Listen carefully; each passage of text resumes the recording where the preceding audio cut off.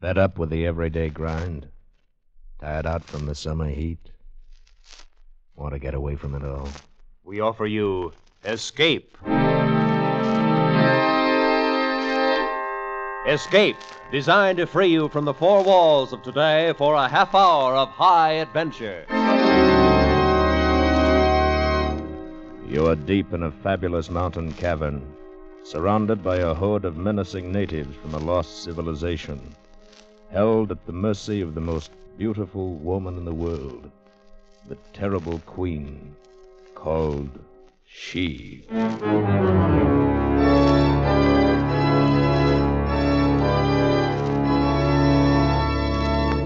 Tonight, we escape to uncharted Africa and to an incredible adventure, as H. Rider Haggard described it in his fantastic story, She.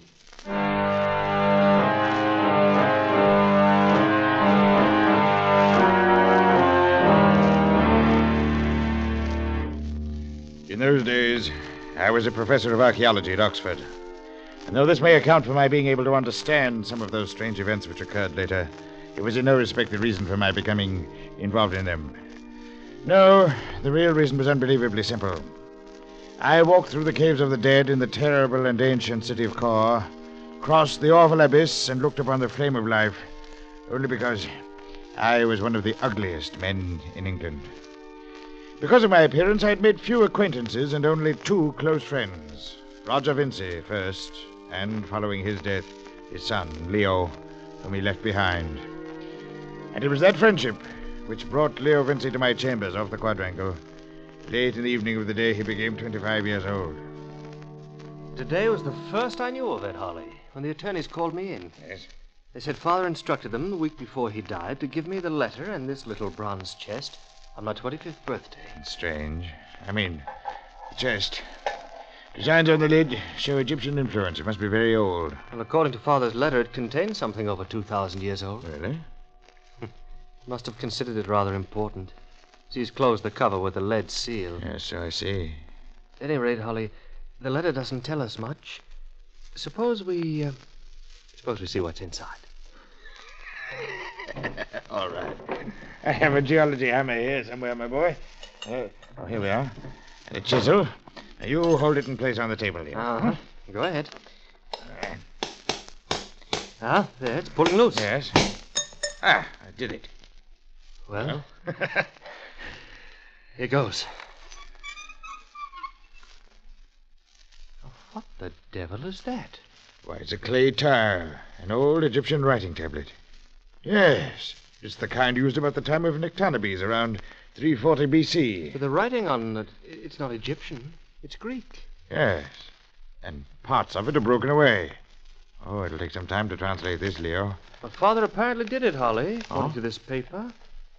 Listen, here's his translation. Read it. I, Amenartes, wife of Callicrates, say this to you, my son. Forced to escape the wrath of the great Nectanebes, Aha, aha, I thought so. Your father and I fled southward across the waters and wandered for twice twelve moons upon the coast of Libya that, That's the old name for Africa, you know. ah, that faces the rising sun. And there by the mouth of a river where stands facing the sea a great mountain carved like the head of an Ethiopian. What is it? Ah, uh, uh, nothing, Holly. I- It, it goes on. Uh, following the river, we soon fell among. There's a row of asterisks That here. must be one of the places where the tile's broken. Go on, my boy. Uh, to a hollow mountain where a great city once stood, and to the terrible caves of which no man had seen the end, and and to she who must be obeyed. She who must be. What's wrong, Leo? I don't know, Holly. There's something familiar about that name, but I've never heard it before. Strange. Well, well, come on, get on with it. She who must be obeyed, who did lead us by awesome ways to the place where the great pit is, whose voice is like thunder. And she did show to us the rolling pillar of life, and did stand in the flames. And she spake unto my, and there's a large fragment missing here. Oh, for heaven's sake. There isn't very much more. Picks up, uh, carried far away on the ships where I gave birth to thee, and came hither to Athens at last.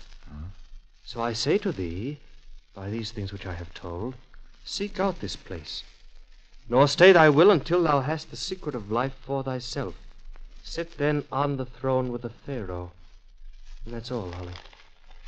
Now, What's it all about? Leo, if your father knew, he kept it to himself. I don't know. It's all very strange. Yes. Oh. Well, we'll know as soon as we reach the place. I was hoping you'd say that. If you decided not to, I think I should have had a try at finding it alone. I can't do anything else, Holly. It's, it's more than curiosity. It's almost a compulsion. There's such a familiar feeling about all this. Even that mountain, Holly, shaped like the head of an Ethiopian. yes, what about it? Well, off and on, ever since I was a kid, I've dreamed about a mountain like that. But why, Holly? Why should I?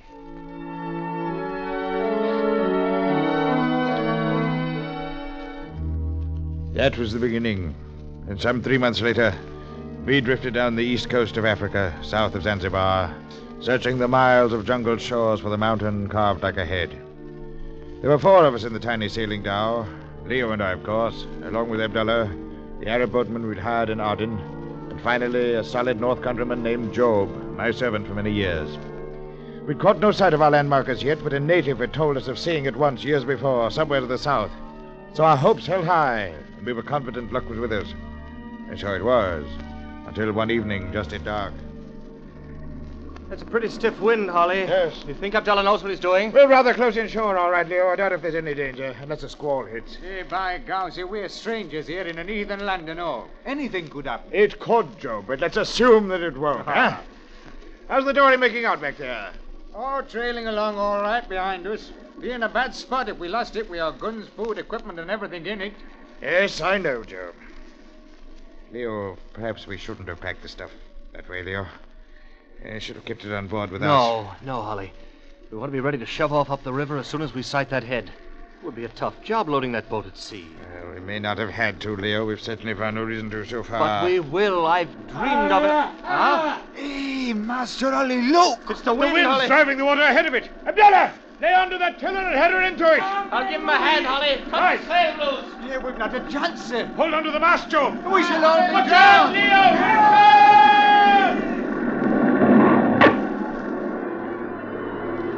The great wave plunged over us, tore away the dory, swamped the dhow beneath our feet, and hurled us headlong into the foaming sea. Half smothered, fighting to stay afloat, borne shoreward by the drive of the tempest, we were tossed at last, one by one, up onto the rain-swept beach.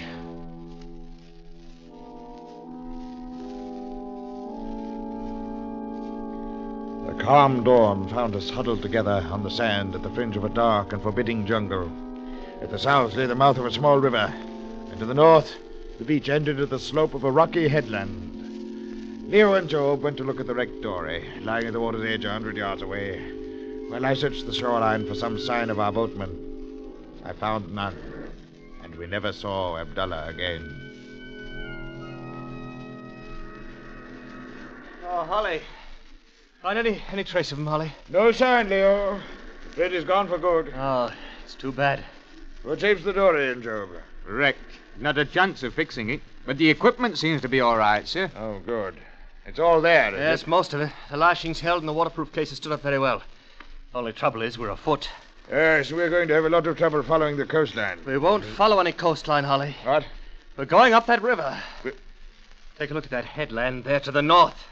It Yeah? shows up better from the wreck, Holly, but with the sun coming up now, you can see it from here, too. Why, goom, it's shaped like a human head. That's it! That's the landmark! Right, Holly.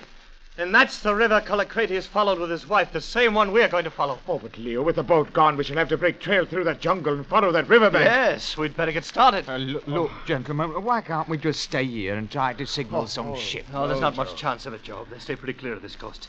But anyway, this is what we've been looking for. I don't really know what we are looking for, Leo. It's been more than 2,000 years since Callicrates went up that river. And things must have changed a great deal by now. Holly. Holly, that carved head up there in the mountain. It looks exactly the way it always did when I dreamed about it. It's incredible. I've got a Gentlemen, strange feeling that whatever Callicrates and his wife found back there in the jungle will still be waiting there today.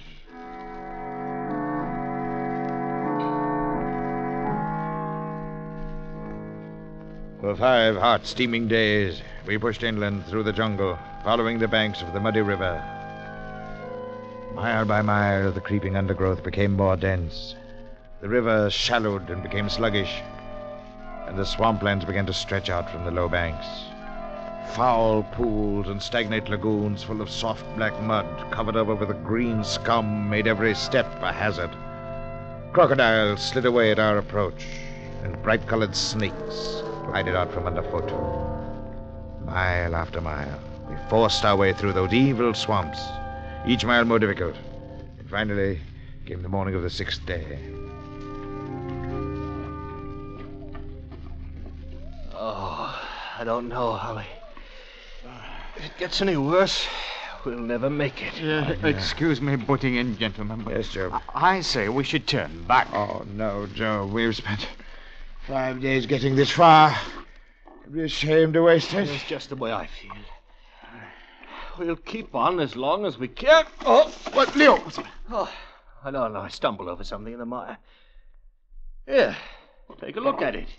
It's a rock. Look. Yes. It's a square stone. It's been hand cut.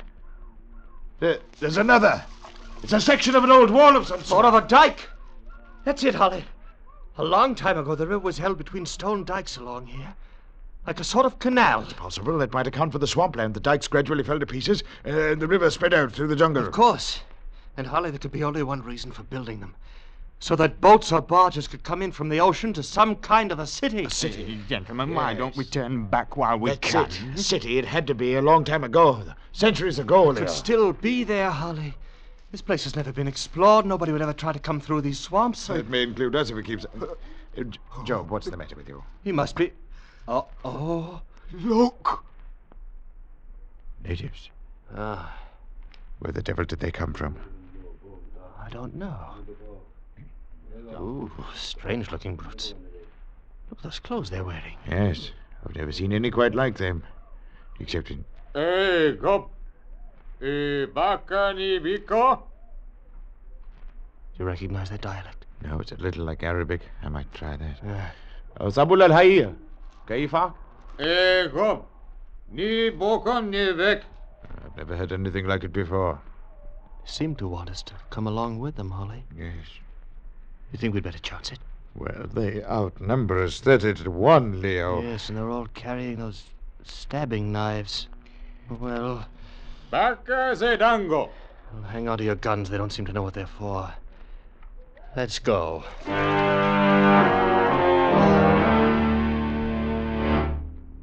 Our strange escort moved rapidly ahead, twisting and turning as they followed some well remembered trail of their own. We rested during the night on a hummock of dry ground and then struck out again at dawn. It was late afternoon when we left the swamp and climbed up a long slope to the foot of the rock walled mountain. Reaching its base, we entered the mouth of a great cavern, and a short way inside we led into a small side chamber, carved from the living rock and lighted by a reed wick floating in a jug of oil. And then the strange natives went away and left us, and we sat about on the floor, trying to plan some course of action.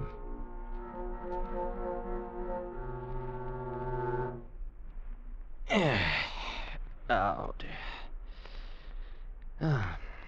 How long do you suppose we've been here, Holly? Close to two hours, I'd say. Yeah. It Must be dark outside by now. Holly, do you have any idea what race they belong to? They're not like any other natives in this part of Africa. Oh, I've seen people much like them in some of the villages in southern Egypt, Leo, but I don't know any more about it than that. They wear those odd tunics, too. Cotton or linen, I suppose. Those bronze headbands. Must have been out of contact with the rest of the world for centuries, Holly. Heathens, that's what they are, and up to no good so far as we're concerned. That's you what may I be right, think. Job, but I still want to find out about the other things Amenartes wrote on the tile the city of Kor and the pillar of fire, and she who must be obeyed. We found the caves, at least. Though I can't see anything so terrible about them. Perhaps we haven't seen everything the Cape. Huh? Oh, well. Ni bohop. Oh, Zeni bakop. our little chum. Zeni bakop. He seems to want us to follow him. Hmm. Well, hang on to your guns. Right you are. Stick close together. Don't let them separate us. All right, Job? Come, let's go.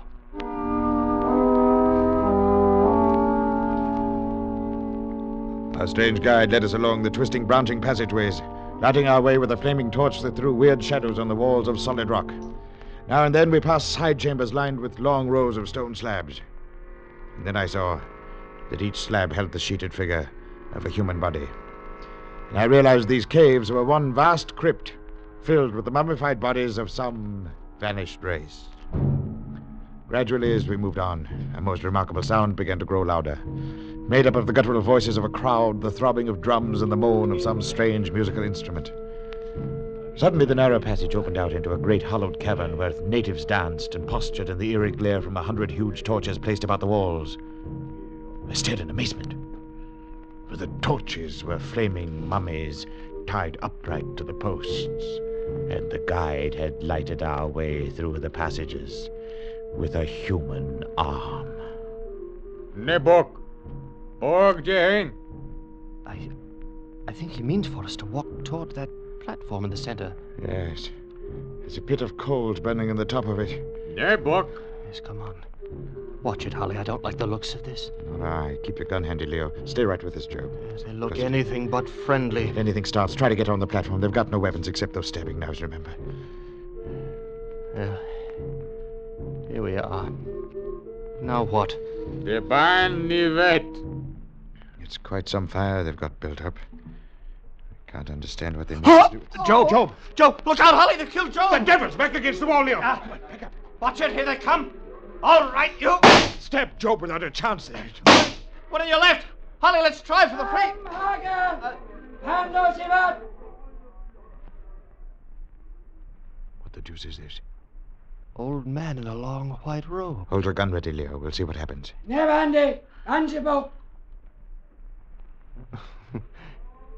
Well, they're- they're scared to death of him, whoever he is. Wait, he's coming our way. I presume you speak English, gentlemen. Yes, Ah? but you do. Occasionally, natives from the south have come through the swamps, and we have captured them. I have learned many of the languages of the outside world. I am Bilali. Uh, um, uh, Leo Vincey, and, and this is Mr. Holly. I am most sorrowful for the death of your companion. Oh, yes. Poor Job. My children had no excuse. They know the law. From now on, you will be allowed to complete freedom. No white man is ever to be eaten. Eaten? That is what would have been done to you. But rest assured, her law is just, and their punishment will be swift. Whose law? That of she who must be obeyed. Holly. This is it, Holly. We're still on the right trail. She has demanded your presence. I have come to take you to the place where she is. Tell me, Bilali, who or what is this she who must be obeyed?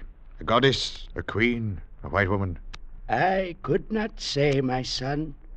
I have never seen she. Come along.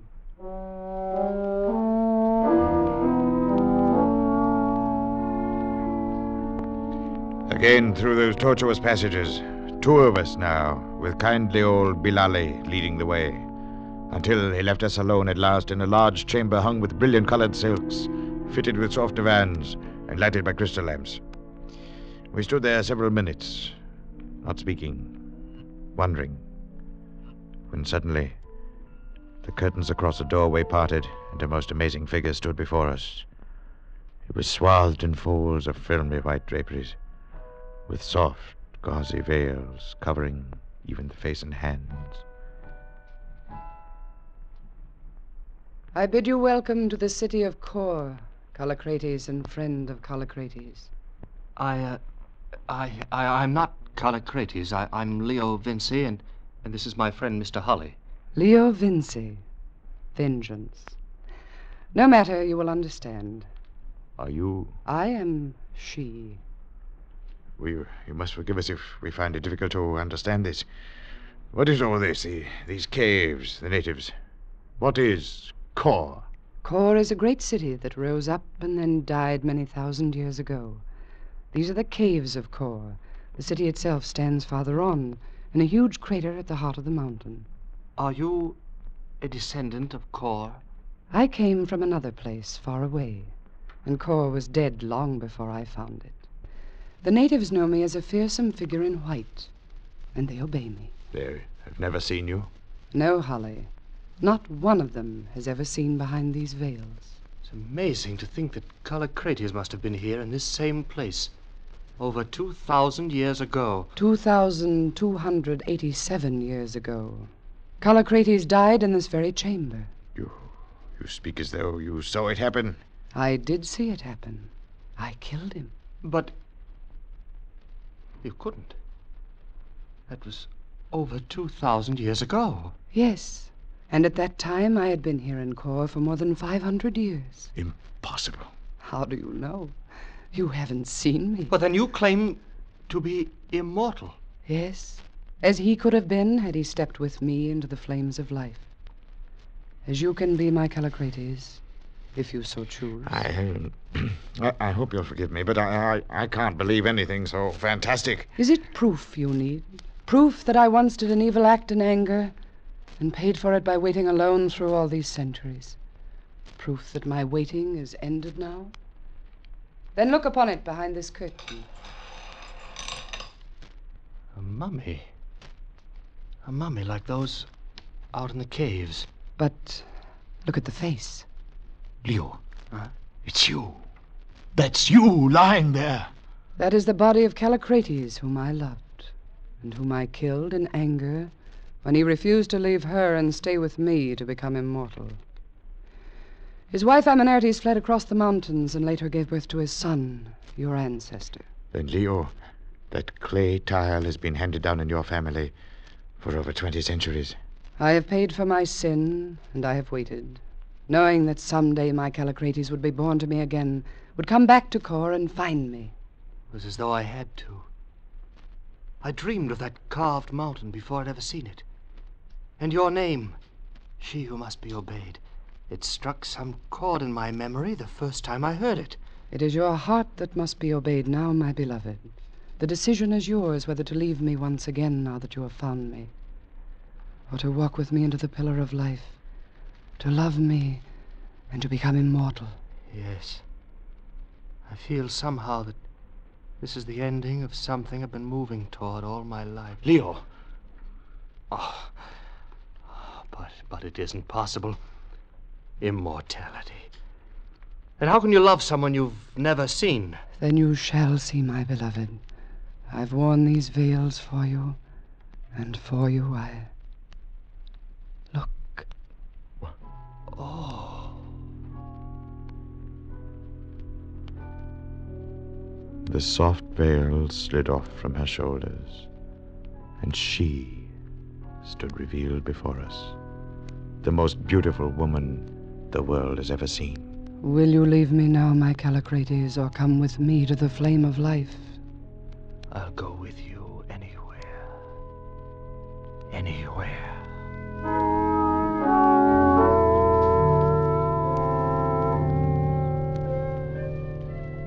We talked the night away in that chamber, Leo and I fascinated by every word that fell from those lovely lips.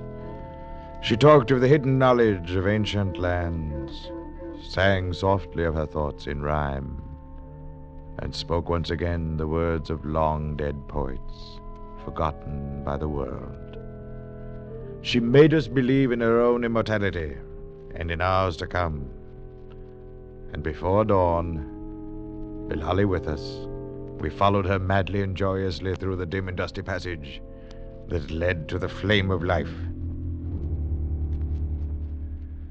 We came to a great abyss, with a narrow ledge crossing over it like a rainbow of rock.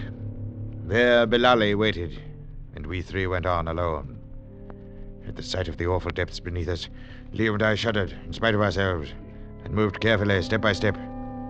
She never hesitated, but swayed along gaily before us like a feather borne on a breeze. Finally, we stood in a vast circular chamber, a great bubble in the earth's crust, whose walls were shining black basalt. Holly, Yes. I see there by the wall. Looks like the body of a man. An old philosopher, my beloved, Oh. who came here many centuries ago. He sat and watched the flame and could not decide whether he should become immortal. Finally, he died. And you? Have you never regretted becoming immortal? I could not have waited for Callicrates, Holly, had I not been immortal. But you, Leo, perhaps you have doubts. Immortality will not even be long enough with you. Where is the flame? Listen. Even now it approaches. It advances and then retreats, a never ending cycle of life. It has moved along its path through this cavern since the beginning of time. Holly, look! Do not fear it, beloved. See, this time I will step into the flame alone.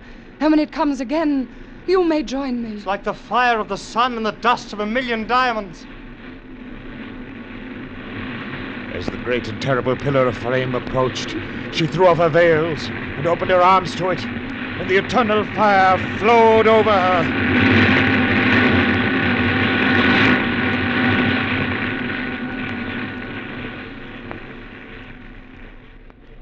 It passed and left her there, standing with her head bowed. You, I. Are you all right? It didn't harm you? No, my beloved. Can one find harm in the flame that created life itself? Do you believe that. What? That What's wrong? I. Tell me what's wrong. The flame was different somehow. Now that Callicrates has returned, the curse of everlasting life is lifted. Leo, she's aging, growing old. No. I. Oh, no. I do not. If I go, search for me. Search. Merciful heavens. Oh, no. No!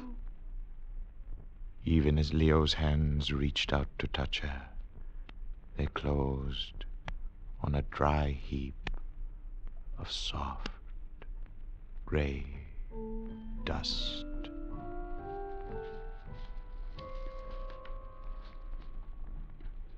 I knew now that neither of us would step into the flame, and I knew we would spend our lives searching through the world for she. I seemed to hear in my mind once again words she had spoken in those glorious hours the night before. I knew that Leo was hearing them too, and that neither of us, so long as we lived, could ever forget that lovely voice. Nay, not in Kor, but in whatever spot in town or field, or by the insatiate sea, men brood on buried loves or unforgot, or break themselves on some divine decree, or would o'erleap the limits of their lot. There, in the tombs and deathless, dwelleth she.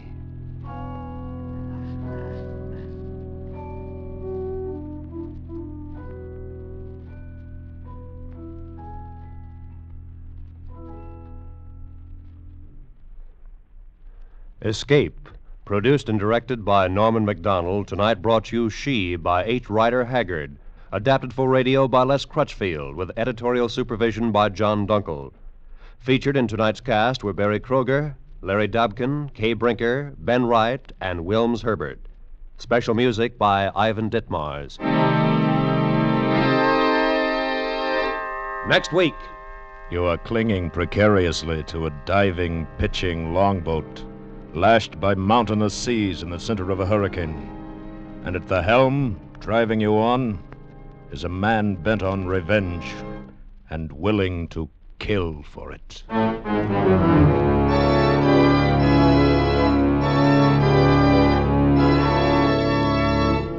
Next week, we escape with F.R. Buckley's exciting story, Habit. Good night, then, until this same time next week, when once again we offer you Escape.